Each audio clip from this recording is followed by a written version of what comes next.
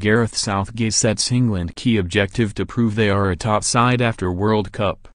Gareth Southgate's England stars face Spain tonight determined to prove their World Cup heroics were no summer fling.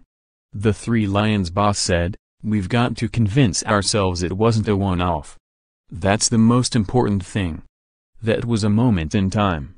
Skipper Harry Kane will receive the Golden Boot as the side that won back the hearts of the nation by reaching the semi-finals in Russia or welcomed back by a packed Wembley tonight. But Southgate now wants his men to show they can be the best by winning the inaugural Nations League. Southgate said, Our record against top teams and competitive games is non-existent, it is not impressive, bar Argentina in 2002, World Cup Finals in Sapporo. It is very rare since 1970 we have beaten those top teams. We have come a long way from Wembley, last year, and the fans throwing paper aeroplanes and we were thinking, why are we here? But we must not stop learning and improving and this will be a good test.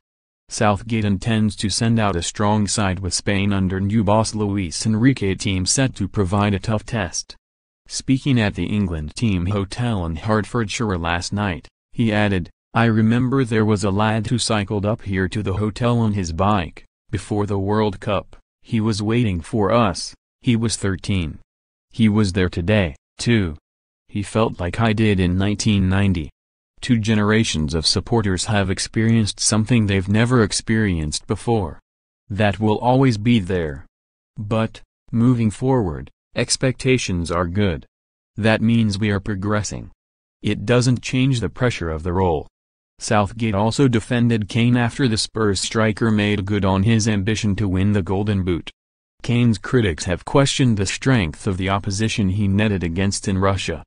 But Southgate went on, if you look at the Golden Boot down the years, we wouldn't know who people scored their goals against. I can remember, Gary, Lineker's. Look at no nines around the world, Messi and Ronaldo are different players, I can't see a better one. He's coming into his prime in the next few years.